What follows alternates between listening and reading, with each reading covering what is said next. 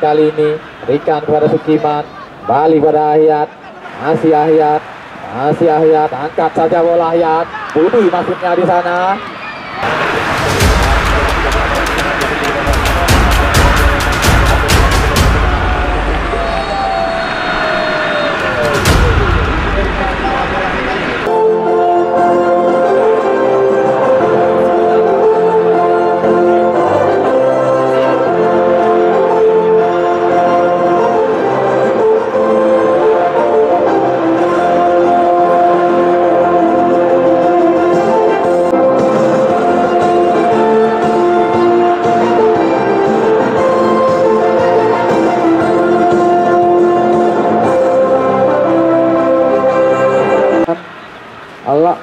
Nomor punggung 21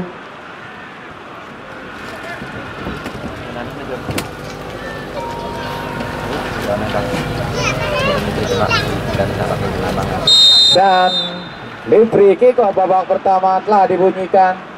Kali ini tenang saja nomor punggung 17 di sana. Dari Putra Karya Ahya tadi nomor punggung 8 Tovalio jauh ke depan. Ada nomor punggung 7 tadi yang dituju terlepas kali ini. Ada Nasri di sana.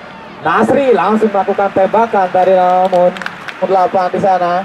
Masih nomor punggung 8 dekat saja tadi maksudnya berikan terobosan namun tembakan yang kurang sempurna tadi. Eh, kali ini ada Abzal di sana. Ayat berikan terobosan. Boni kali ini. Maksudnya namun salah pengertian tadi kedua pemain Doni masih terlepas. Doni angkat saja bola. Namun apa yang terjadi? Terlampau pelan tadi Abzal kali ini nomor punggung 7 di sana. Punggung 13 jauh kali ini meninggalkan posnya. Buang saja. Ada nomor punggung 8 lagi-lagi tembakan yang mampu dibendung. Bukan pemain dari Persejo kali ini ada Tovalio di sana. Seva pojok ada Ahyat namun lagi-lagi saltoan yang dilakukan Tovalio tadi. Nomor punggung 2 Iman kali ini. Anggaran tadi dilakukan. Jamal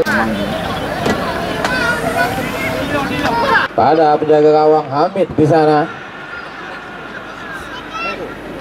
Hadiman sudah bersiap-siap Hadiman di sana. Lakukan tembakan menyusur tanah. Apa yang terjadi? Dan gol, gol, gol, gol, gol, gol.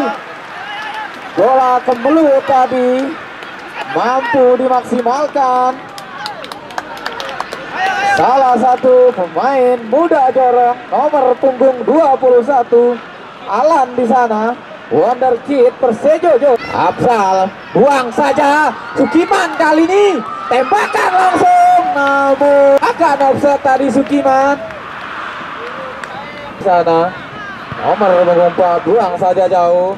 Kali ini terlepas nomor punggung 8 namun terlampau deras tadi. Iban yang kurang konsisten Terjadi perebutan bola, masih mampu dimenangkan Hadiman yang melewati dua tiga pemain sekaligus Hadiman. Namun selamatan yang dilakukan tadi, nah, kali ini Hadiman tembakan langsung. Akankah masih Absal? Multa hampir saja tadi, namun tadi tangkap sehingga aman kali ini. Jauhan ada. Shootnya kali ini. Sudah berdiri dalam posisi offset 8 Rahyat kali ini. Abzal di sana. Terobosan kali ini Nasri di sana. Lagi-lagi mampu tadi. Cut saja bola Hayat Budi maksudnya di sana. Lagi-lagi. Terpunggung 17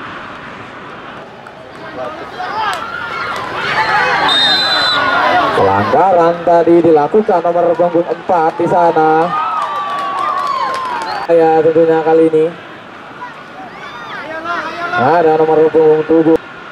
sudah lakukan ancang-ancang Absal Topalio namun mampu tadi Absal di sana Absal kali ini melewati dua pemain Absal berapa kali ini buang saja bola. Doni. Kali ini Doni. Mampu menunjukkan kualitasnya Doni tadi di sana dengan mencetak gol penyeimbang tentunya dengan gaya Ronaldo dengan arah di sana. Dan di mana Lipri babak pertama telah berakhir. Silo.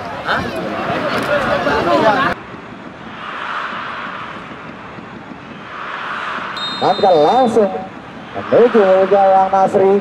Keras saja tadi tembakan yang dilakukan Nasri namun masih aman dalam pelukan penjaga gawang dulu di sana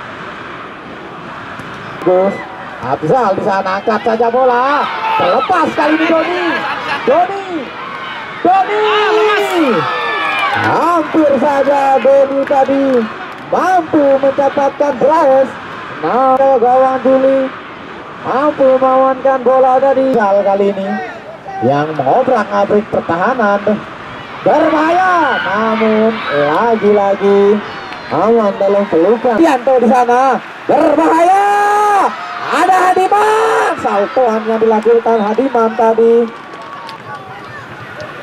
Jauh dari saya. Ingat waktu masih panjang. Apa saja bisa terjadi? Doni lagi-lagi.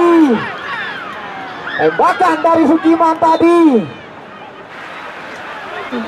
Dari penjaga sedikit saja tadi. Kali ini jauh ke Alah kasanek boleh nih siluk ini. Berbahaya mau berbahaya Sukiman kali ini. Apa yang terjadi? Akankah di luar ataukah di dalam kotak penalti tentunya? Namun ternyata masih di luar. Gazi di sana kali ini Gazi akankah mampu Juli? Menunjukkan kualitasnya. Gazi lagi-lagi Juli Juli Juli. Seakan menjadi tembok Juli.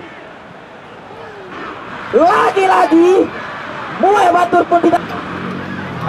Doni kali dan berakhirlah babak kedua bertanda tentunya. Tentunya. Bukan ancang-ancang Absal! Tipis saja. Sulit dihalau tadi. Kali ini. Lagi-lagi. Tembakan. Yang di Topal. Lakukan ancang-ancang Topal! Dan mengenai Mister Gawang tadi Di- Hamid. Hamid! Dan sebelah utara. Tentunya sangat sulit. Ahyat lagi-lagi tembakan dari Ahyat tadi. Lagi-lagi keras dari tembakan yang dilakukan satu kali ini. Gazi lagi-lagi tadi. Gol namun keunggulan tentunya. Lagi-lagi tenang saja. Nomor punggung 27 di sana Nasri. Hampir saja tadi mampu dihalau namun terlampau kerasnya Persejo dorong semoga men- udah berhadapan. Berbahaya. Dan gol gol gol gol gol gol gol berakhirlah pertandingan pada sore hari ini di mana dimenangkan oleh Persejo dorong. Persejo dorong yang sudah berhak melaju ke delapan besar dari saya. Apabila ada